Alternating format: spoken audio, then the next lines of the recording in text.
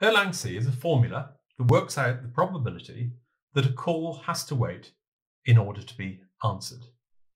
The formula was originally developed by the Danish mathematician A.K. Erlang, hence the name Erlang, over a hundred years ago. It is particularly well suited to call centers as it allows you to work out the number of staff that you need for a given number of calls and a desired service level. The mathematics, though, is quite involved, and this is what the Erlang C formula looks like.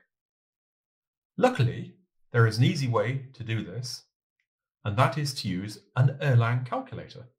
You can find one on the Call Centre Helper website. Just hit the Erlang tab.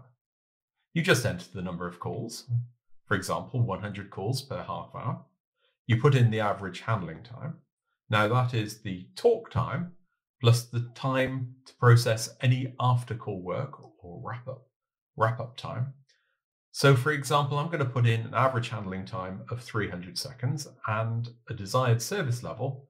In this case, we're going to use 80% of calls answered within 20 seconds. So you put that all into the calculator and that tells you in this scenario, we need 30 agents to handle these calls. Easy.